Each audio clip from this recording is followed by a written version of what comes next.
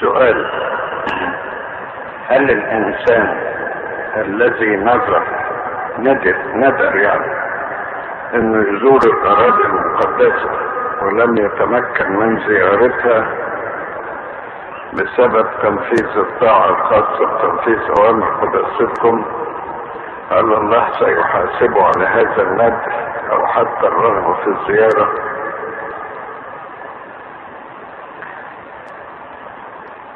مفروض اللي ينذر حاجة قبل ما ينذر يكون متأكد إنه يقدر ينفذ.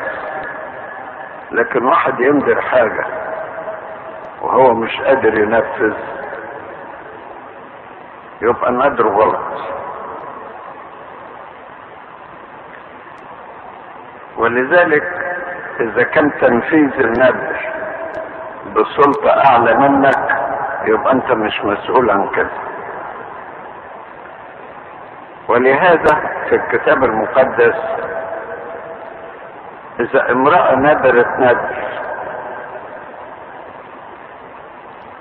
وزوجها سمع وسكت يبقى تتنفس إذا ما وافقش يبقى هي غلطانة في النذر والنذر ما يتنفس.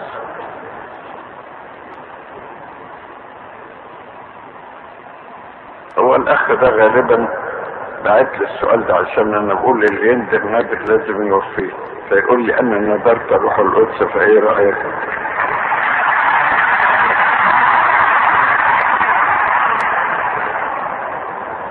أنت غلطان إنك تندر حاجة أنت مش قدها. اللي بينور بطارية في مكان السيدات يبطل.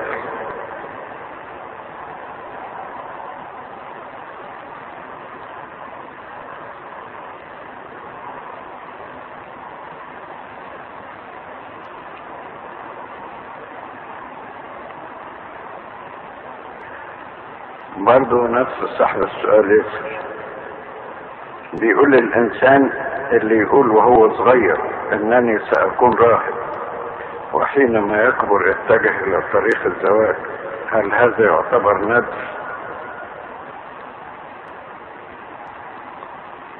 هل سيحاسبه الله؟ الصغير ده ما يتخذش على العقل